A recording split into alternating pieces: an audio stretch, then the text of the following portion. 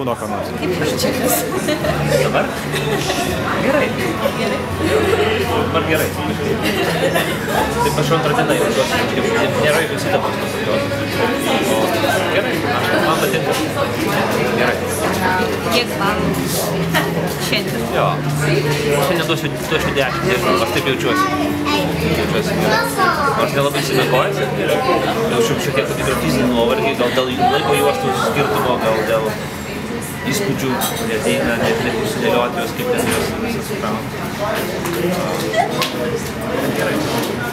O jeigu va šiandien paklaustų momentų vėl važiuos? Tai priklauso nuo daugelio dalykų. Aš, aš manau, kad reikia, man pačiam asmeniškai reikia daug permastyti.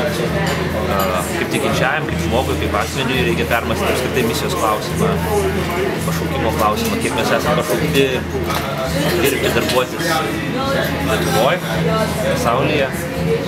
Ir aš manau, kad tokios kelionės labai praturtina